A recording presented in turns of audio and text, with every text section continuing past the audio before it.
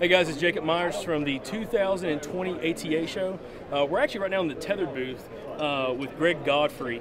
Uh, talking about new product for this year, which is really exciting, and we've been testing it out for a little bit just at the booth and been very impressed. So, Greg, what do we have here?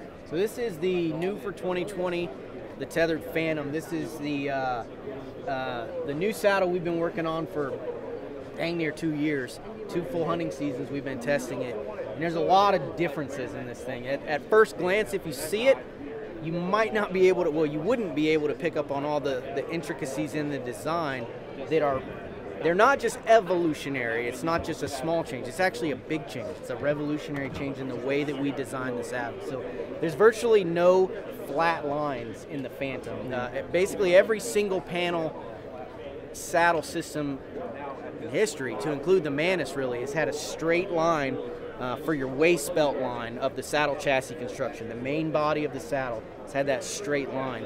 And that could cause a couple of problems. It could cause some hip pinch. It could cause the saddle to want to ride up. Uh, a few things that a lot of users experienced over the years, and the way we eliminated that was we eliminated that straight line. There's no straight line in the Phantom. So it's a complete redesign. It's not just a, a little change the the Phantom is more football shaped, and that really helps the saddle stay locked in wherever you want it, so you can really find all day comfort with it. It's a big deal. And there are other things too, like the comfort channels here that we can talk about. Yeah. The adjustable bridge, the re-engineered lineman loops. We changed the location of the leg strap. We basically took the saddle from ground up, took all the customer feedback that we've been hearing for the last 18 months. That you know, the hundreds and hundreds of, of saddle hunters that have said, "Hey, we love this. We don't like this. Hey, we wish this functioned differently." And we basically morphed all that into one product. And we think we kind of hit a home run. We have demoed it for like 20,000 people, it feels like, here at ATA, and have some hardcore saddle hunters over the past two seasons testing it. And the feedback is pretty much unanimous that we solved like all the problems that people had with the, with the Mantis and then some of the other options that are out there. So we think we've uh, we've got a winner here. Yeah, and I'll say um, if anyone's been following along with us, I've been testing out four different saddles this year from different uh, manufacturers, uh, and I'll say this one definitely stands out. Uh, I had actually hunted, actually I got into saddle hunting because of you, Greg, uh, about a year ago. Actually got my first Mantis and used it for the whole year. And I was one of those guys. No matter how I positioned it, I always leaning was fine. When I sat down, I would just get a little bit of hip pinch, and it was just my personal thing on uh, how it worked. The first thing I noticed in this is when I'm sitting in it, there's absolutely no hip pinch, there's no pressure points that I'm seeing at all. But when I actually sit down and kneel down, I don't feel the pressure or anything like I would previously right on the hip, which is crazy because I'm actually a little bit heavier than I was last year. And then also, just the, the, the thought of coming into this, I didn't think it was going to be as different as it really is, as yeah. the Phantom is, uh, which is really exciting. And there's a bunch of different things we're going to go over uh, with this system, and maybe why it might be a good option for somebody, especially coming from like my background or Andrew's background over this last year, using a bunch of different saddles and kind of seeing what works for some and what, what doesn't work for others. And to be honest, the one thing I noticed about this saddle is how much more narrow in the back it is yeah. compared to like the Mantis. And that was the first thing I noticed. I was kind of worried about that, being a bigger guy. Also, I'm a 43 inch waist for everybody out there. So a bigger dude, if you're 43 but 44, I still have slack right here. Yeah, you got plenty of room. So I could, I probably could wear my bibs under this and not have any issues, which is really nice because I know some of the bigger guys on the Running and Gun Whitetail Hunters page and the group were kind of worried about that. They wanted to get the new saddle, but they were kind of worried, like, man, you know, I, it's not going to fit me. I'm a 42, I'm a 43, I'm a 44. You shouldn't have to worry about that unless you're maybe wearing up north and you're wearing a ton of layers. But let's, you know, test it out. Um, the first thing I'd like for us to kind of hit on, what's why I'm sitting here, is the bridge. Because y'all did something kind of new with the bridge that you're actually, it's, it's, patent pending, is that right? Yep. Which is really sweet. So let's kind of go over that first. Yeah, so it was a happy accident, actually. We we were running with like five different versions of an adjustable bridge. We knew we wanted an adjustable bridge. Mm-hmm. That was a lot of a lot of hunters wanted that, and I wanted that. Yep. But we didn't know the best way to do it, and we wanted it to be stupid simple and then continue with our ethos of ultralight, yep. strong, without sacrificing complexity. We didn't want anything crazy. So mm-hmm. this is what we came up with. Uh, we call it, we're calling it the Utila Bridge. You've got you can go from basically no bridge, four inches basically, all the way out to a little over 30 inches. And mm-hmm. it's really, really simple. It works with a continuous loop prusik design. But the patent pending process was, a, like I said, a happy accident. Mm-hmm. We were playing with a bunch of different things and we ended up running the bury of the Amsteel instead of the manufacturer's recommended uh, 13 and a half inch bury, which is required to maintain strength. We, we ran it all the way through. So now it's basically doubled up, and that's what allows this Prusik knot to actually bite. Now, when we went and we did our testing, we did what we call Bubba testing, right, in the backyard, where you just drop, drop heavy crap and see if it works, and go hook it up to a car and like yank on it and see if you can break it. And we're like, okay, it actually worked, cool. Now let's go do like real testing. So we went to a certified third-party independent testing lab, Yep. and we did all of the ASTM spec standard drops. And we dropped a 300-pound dummy six feet, and this Prusik knot. Uh, ju- uh, it, it moved about a half an inch. That was it, and then it, it completely locked down. So, uh, and then all we had to do was break the Prusik knot, Yep. slide it up, and it was perfectly usable. Show that. So, So- you go here, and as you said, you break it. Yeah, So that's you- that's how you do it. You just break it like that, and now no matter how much weight on, you put on it, you just you do that little process. Carl actually taught me that term. Carl said you just break it, do it just like that, and that loosens it up just enough to where you can now slide it again. So it's a it's a stupid simple, and then clip clip off of there. I want to show you something else. So Yeah. this is what I like to call uh, I like to call it transport mode. So you got this floppy bridge, you got the saddle. This is kind of floppy, so I like to go in transport mode. Here, you do it. Yep. I- You pull it, pull it tight.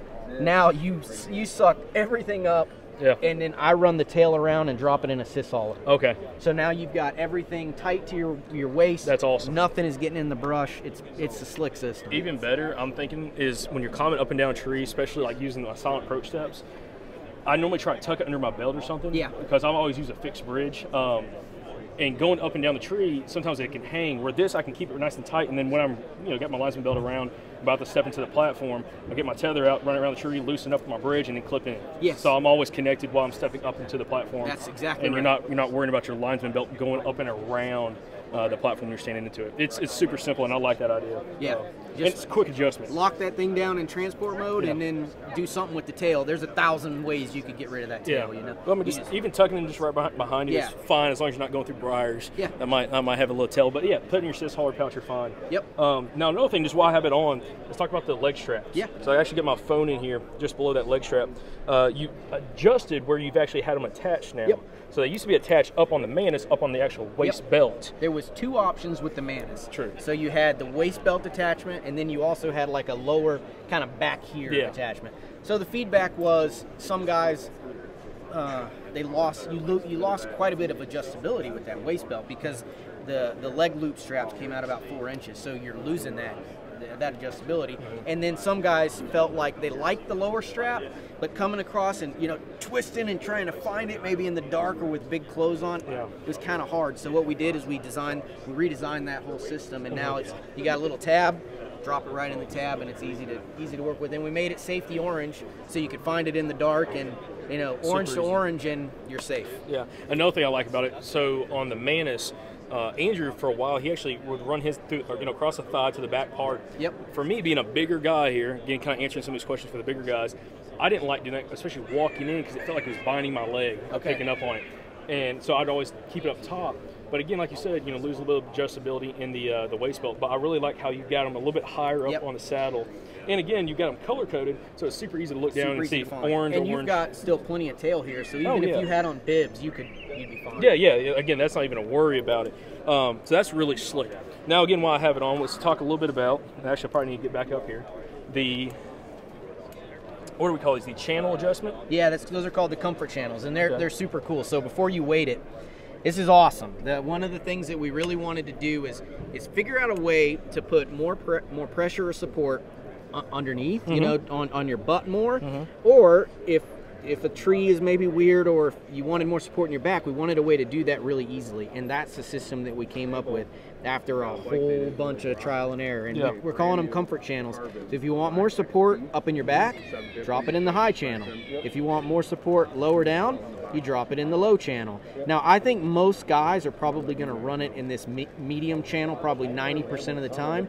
And then on a, a wonky tree that's leaning or something mm-hmm. weird, you're probably going to maybe have to go up or down or something like that. But that, that's how it's going to work. And I personally have experienced that just with some of my other saddles, just trying to mess around with them, especially in trees when you have to do a super low tether because there's a lot of branches. A lot of times having that a little bit higher up Yep. is going to help a ton because you're going to be more in a standing position anyways. You can't lean back super far in those trees. So that's going to be really beneficial.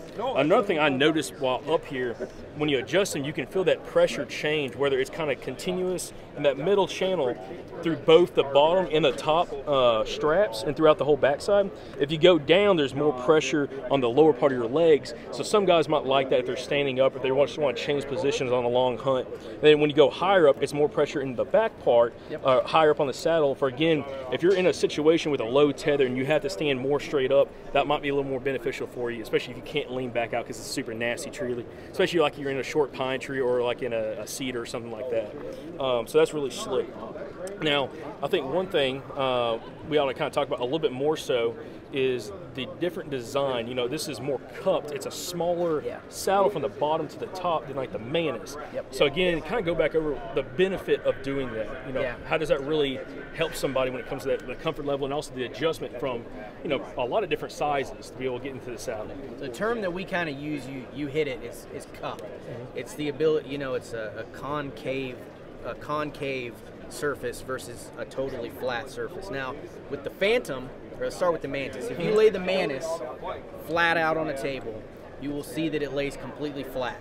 If you lay a Phantom out on a table, you're going to see that it has built-in cup or it's concave. Mm-hmm. And that's not on accident. It, it didn't just magically happen. We built it that way, and it's actually a patent pending build process because it matters a lot. And the way the way it works is it just it just hugs your butt. I mean, it just cups your butt just like it's supposed to, and that solves that the the the, the want for that saddle to kind of ride up in some situations. And we were talking earlier off camera, and you know, we listen.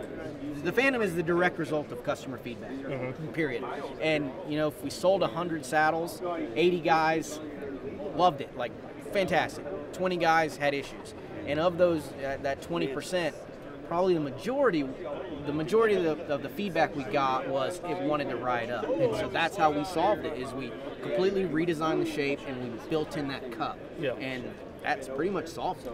Yeah, and I say from a bigger guy, I've heard it from both standpoints, from like real small, skinny guys uh, without, I say, much, um uh, you know, size in their legs and their torso, you know, having issues riding up. But also bigger guys like myself had issues with that, just with the Mantis a little bit. And I'll say, being here and trying it out, a little bit different tether heights and different uh, bridge lengths and everything, I haven't had that issue at all. I definitely feel like you get that cupping uh, design really does help with that. And you can really feel that. Uh, whereas you're not sitting on a, a flat plane that you're trying to bring around a you know not flat surface, uh, which is which is key, uh, especially for comfort. And again, when you look at it, it is smaller than the Mantis. It's a lot smaller. it's a lot narrower top to bottom Exactly, and that's what I'm talking about from from the bottom part to the top part where your cis hauler would attach to. and it's kind of counterintuitive Yes. it's like comfort you think you want bigger, Bigger. you don't not Yeah. Mm-hmm. not if it's designed properly if it's designed properly by people that know what they're doing then you can engineer uh, a smaller seat Yep. and still be ultralight ultra portable efficient you don't have to make it complex you can still keep that simplicity that we love so much Exactly. And again, this is all based around everything that y'all do, which is you know simplistic, but as lightweight, compact as you can get. Don't have any extra bulk that really isn't needed. And that's exactly what this is. I feel very streamlined wearing you should And again, I've used a bunch of different options, and the streamlinedness of these saddles is definitely something that stands out among everything else I've used. And that's what I really like about it. When you're walking in, there's nothing flopping on you. And to be able to tighten this down, Yeah. the bridge is just, I mean, killer, killer, killer, killer. So I really enjoy it. Um, is there anything else we need to go over when Man, it I, comes to the saddle? I think we really hit the highlights. The,